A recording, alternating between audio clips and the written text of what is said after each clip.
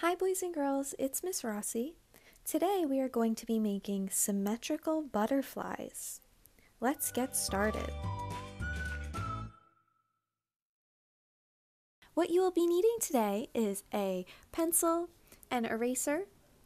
I'm going to use a bunch of different pieces of paper to make a collaged butterfly. So I have all different colored pieces of paper here, a scissor and a glue stick. If you don't have different colored pieces of paper, you can use plain white paper and then color on all of your details using crayons, markers, or whatever art supply you have at home.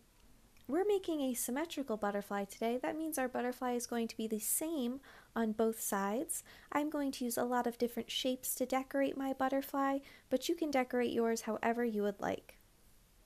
So the first step of making our butterfly is going to be the same no matter what kind of paper you're using. If you're using many different colored pieces of paper, you're going to pick what color you want your butterfly's wings to be. So I think I want my butterfly to have pink wings, so I'm going to take my pink paper and use that. If you don't have colored pieces of paper, you can use plain white paper and do the same steps that I'm doing and just color it in instead of using these different colored papers.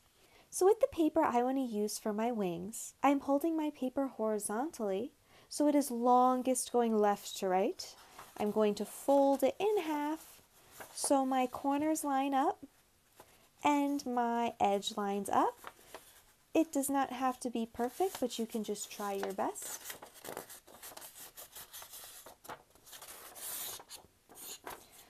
So now I can open my paper up like it's a book.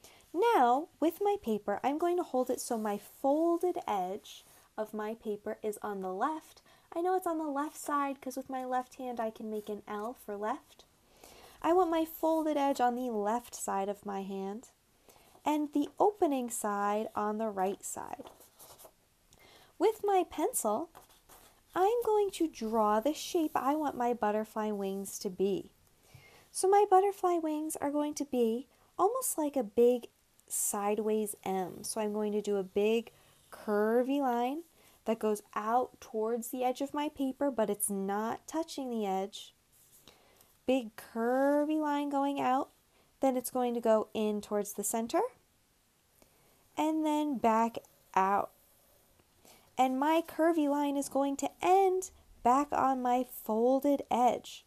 So if you look at my paper, it looks like a big M from the side it opens on the side where my curves are, and my line starts and ends on that folded edge. I'm going to take my scissor and I'm going to cut this shape out while my paper is folded.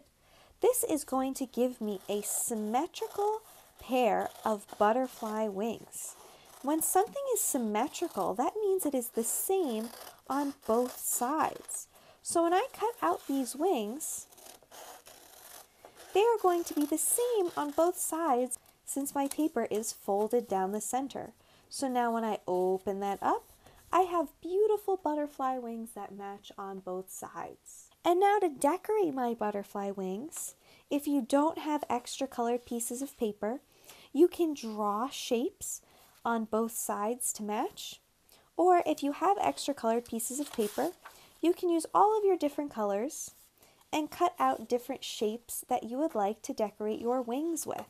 Now when I'm decorating my wings, I want them to be the same on both sides. So whatever decoration I add on this side, I'm going to add the same decoration on this side. So they are symmetrical or the same on both sides and they line up when I fold it in half.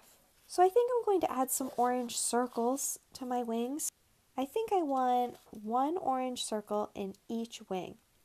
So I'm going to draw one orange circle and I'm going to fold my paper in half. So now when I cut it out, I will get two orange circles.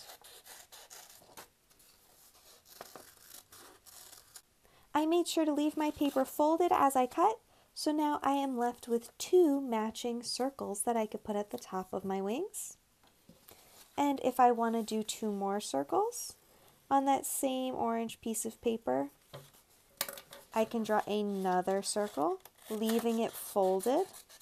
I can cut that circle out to decorate my wings with it. So now I have another pair of circles I can add down here. With my glue stick, I'm going to glue down those circles that I just cut out so I don't lose them. So I'm just putting glue on the back and sticking it right on my paper. Now on some of our circles, you can still see my pencil lines of where I drew, like on this circle, you can still see the pencil lines of where I drew that circle before I cut it out. I'm going to make sure I add glue to that side so then when I stick it down, you don't see those pencil lines at all. Now I think I want to make a nice big yellow body for my butterfly. So on my yellow paper, I'm going to draw a big, long oval shape to be my butterfly's body. And I can cut that out with my scissor. I'm not folding my paper in half here because I only need one body for my butterfly. It's going to go right in the middle. So I don't need to fold my paper in half in order to get two. Just need one. Let's see if that's going to fit. That looks perfect. I can add some glue on the pencil line side of my piece of paper. I can see those pencil lines still there. I don't want to see those. So let's add some glue. I can stick that right on my butterfly wings. I think I want to add some smaller circles inside my orange circles. So on my yellow paper, I'm going to draw a tiny circle. I am going to, let's cut that piece off, we don't need it. I'm going to fold my paper in half again because I want two matching circles there. And I'm going to cut that circle out. So I have my little circles here. Those are going to go inside my orange circle. So I put a little bit of glue. There's my other one.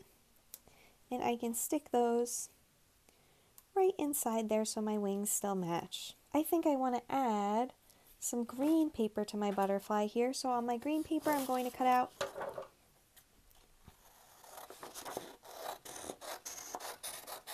a long rectangle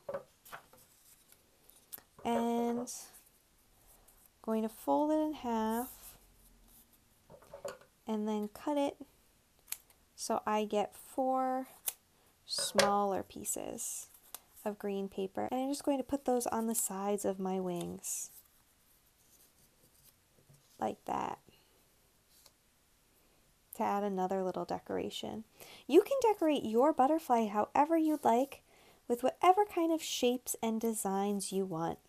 And like I said, if you don't have all these different colored pieces of paper, you can always add your designs and decorations using your pencil and any kind of material you have to color with. So maybe you want to use crayons and markers to add decorations to your butterfly. The only important thing today for our project is to make sure that it is the same on both sides. And I think I'm even going to use a marker and add some decorations on my butterfly too.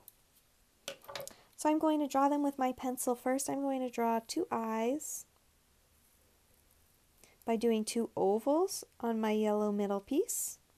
I'm adding little eyeballs and some eyebrows on there. I'm going to do some curvy lines on my butterfly's body that I will trace with my marker. And I think I'm going to do a big swirly line on both of my wings so they match. And I'll even do one up here too.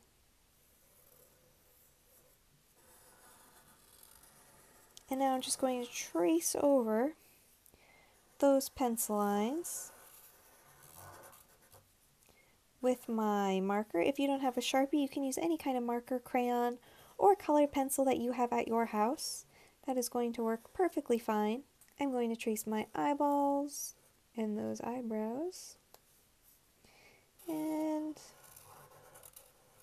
my big swirly lines that I drew up here too.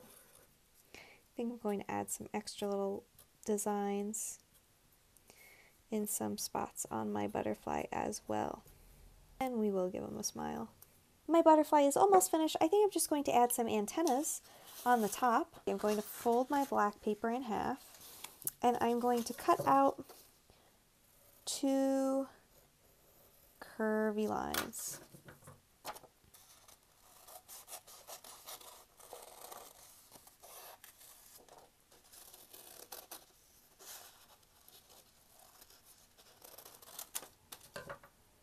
And now I have two little antennas I can put at the top of my butterfly also. So I'm just going to stick a little bit of glue on the top of my butterfly's head and stick my antennas on right above the eyebrows that I drew. And my symmetrical collaged butterfly is all finished. If you don't have all these different colored pieces of paper, again, you can just draw on your butterfly wing designs after you cut out your butterfly wing shape. We want to try our best to cut out our butterfly wing shape so that we can practice cutting out symmetrical shapes like that. So don't forget to fold your paper in half before you cut out your butterfly. When you're finished, if you'd like to share your project with me, you can take a picture of it and share it with me in the easiest way you can, whether that is email or Google Doc. I would love to see the amazing work you're creating at home. I hope to see you soon. Have fun, try your best, and get creative. Bye.